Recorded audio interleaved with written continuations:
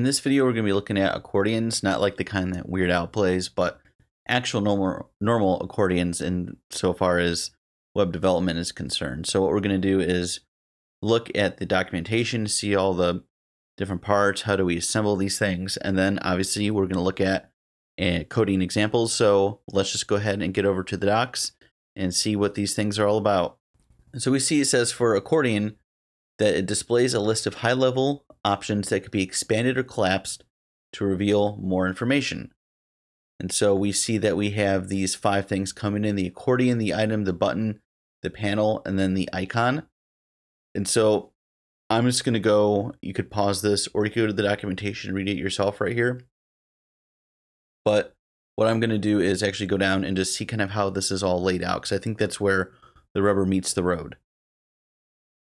And so I'm going to scroll back up here in a second. So this is a little large, but we have this accordion, which is the outermost parent here.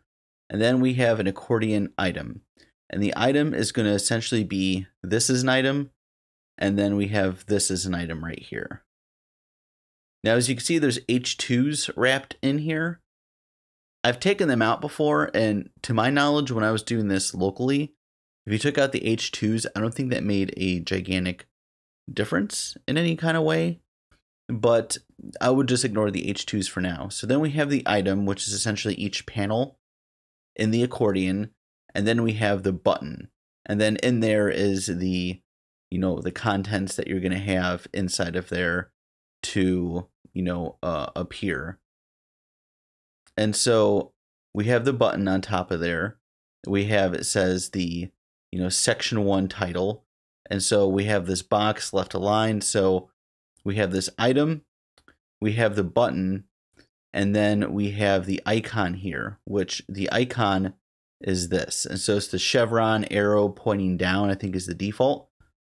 And so this is layered out a little funkily, but uh, just kind of work with me here. And then below the accordion button is the panel.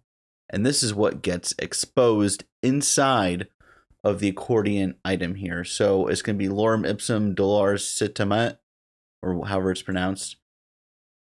And we can see that right here as we click. It doesn't do anything. We can't collapse it. But if we click the bottom one here, it collapses upward. If you don't like that or need more flexibility, don't worry, just keep watching this tutorial. So to recap this, just because I think it's important to get, we have the accordion wraps everything, and then we have the accordion item, which is going to wrap your your content for each of the panels essentially. Even though this is an accordion panel, this is going to be you know your your first row essentially, and then in there you're going to have the button and however you want to name it, style it on the inside. Never forget your accordion icon here at the end. And then below all that, you have your panel, which is essentially the body or the content of this entire row here. And then you just, you know, copy and paste or or whatever and and there you go. And so if you want to expand multiple uh, panels at one time, you could come here and you could use allow multiple and it'll let you do that. So we have allow multiple in here. It's set to true. So we could collapse stuff and we could expand both of these. It's not a this or that kind of option, which I think is really nice. And you do that in the most parent um, one here, which is accordion. Now, in case I forget, don't come back to it. Maybe I'll talk about it twice, which is better than not at all. You see this default index right here, and it's an object or um, it has those um, squiggly brackets. And then in here, we have this array zero. And so this is meaning that the default, this one will be open. If we set it to one here,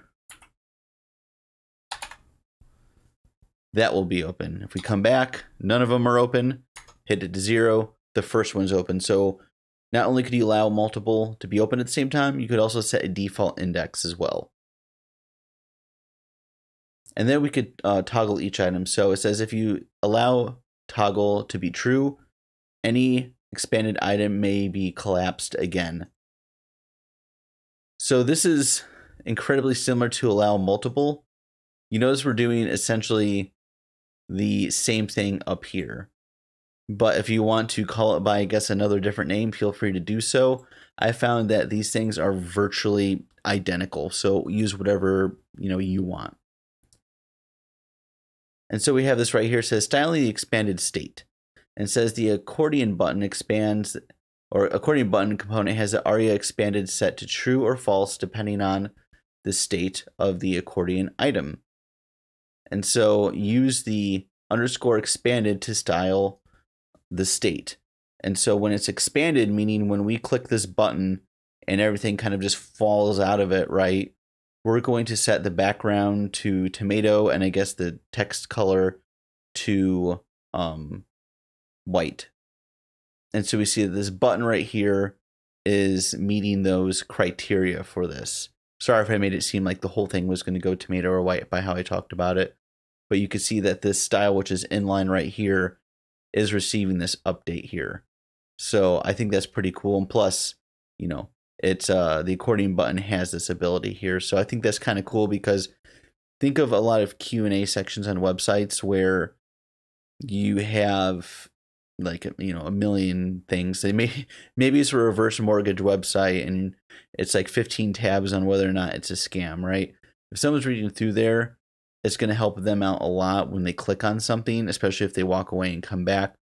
What is it they clicked on last time? Now you may want to pair this coloring styling kind of thing right here with it maybe not allowing for multiple maybe you only want one at a time because then if you have a bunch of these tomato or similarly colored backgrounds, it kind of defeats the purpose. So just use the color and the expandability, um, you know, wisely. And so we have some stuff about accessing the internal state right here. This isn't something I'm going to specifically cover right now. I think this is a little bit more advanced. Feel free to come back here and look at this. I wouldn't say it's the most advanced thing ever. I think if you're going to get out and to start using this, you're most likely not going to use this case out of the box. And I kind of want this tutorial series to be more about just getting up and getting going. And by the time you, you feel more, you know, secure and whatnot, you're going to come back here and see if there's any other tips and tricks to get you going. And so we have the accessibility. Uh, so by pressing space or enter, when the focus on the accordion panel header will, will toggle uh, the accordion. There's some stuff about props here. Feel free to check, look over this stuff in case I haven't covered it or the, you know, code examples above haven't covered it. But uh, I like to code. I think you like to code. That's why you're here. So let's get to coding. All right, so let's do our first accordion example. I do believe there's just two I have planned out for this. And this one is actually going to be quite similar to the example in the docs. I'm going to change some stuff up here. And there's a couple things I kind of want to discuss about the docs too, because sometimes I think there may be slightly misleading stuff, but let's get to coding.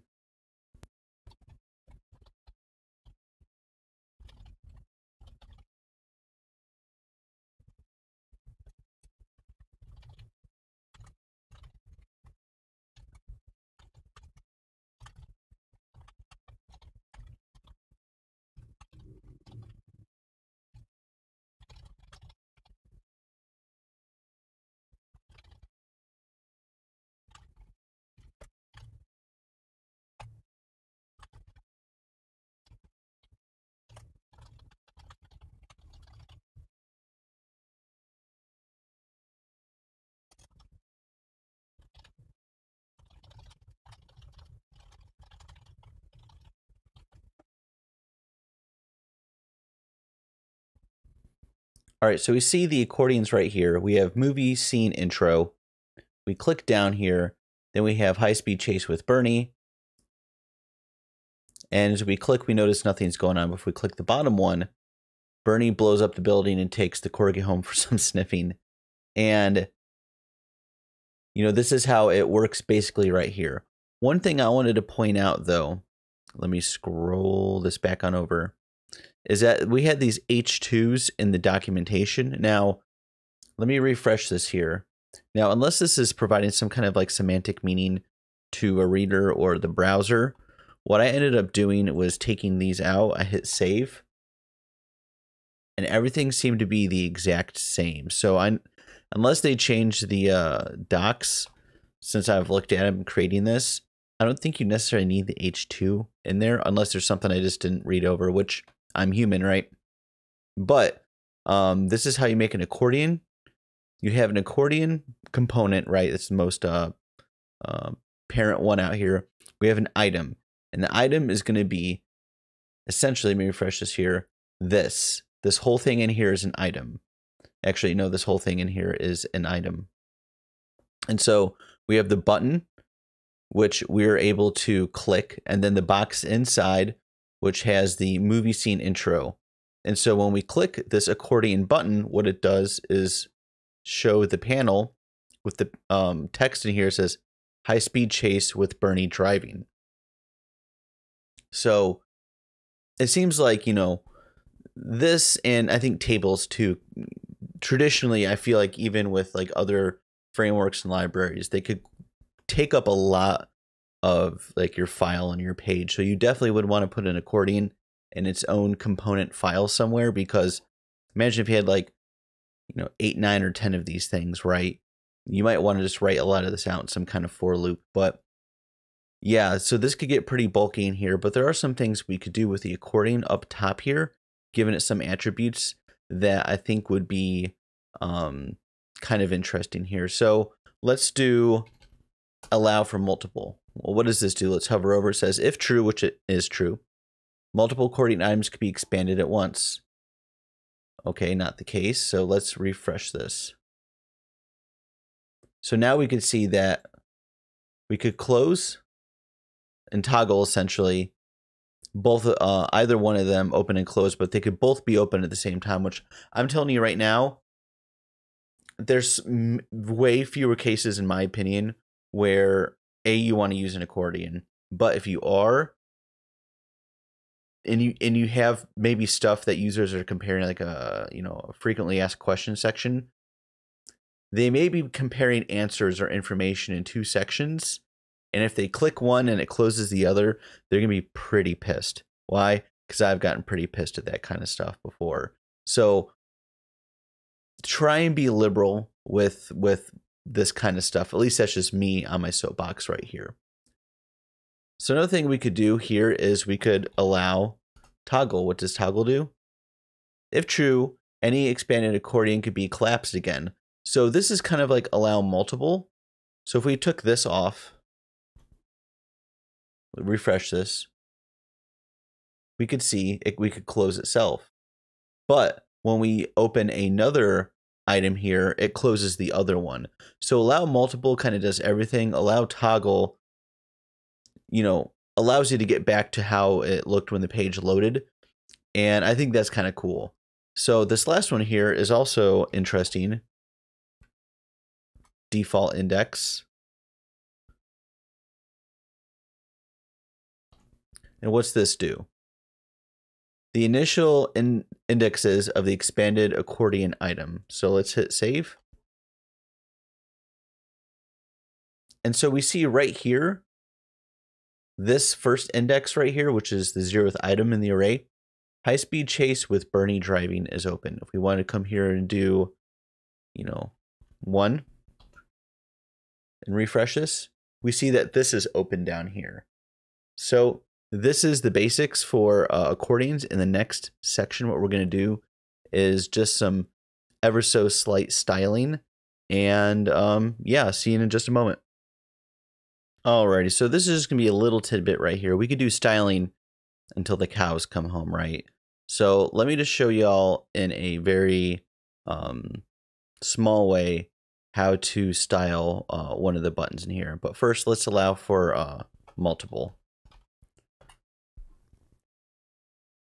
So we have this accordion button right here. And how would we style it, say, when it's expanded? Well, that's pretty easy. We could come in here and do, is it expanded? Cool. So let's go ahead and give it some cool stylings then.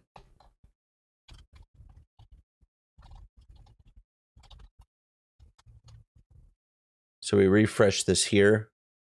Let's take off default index.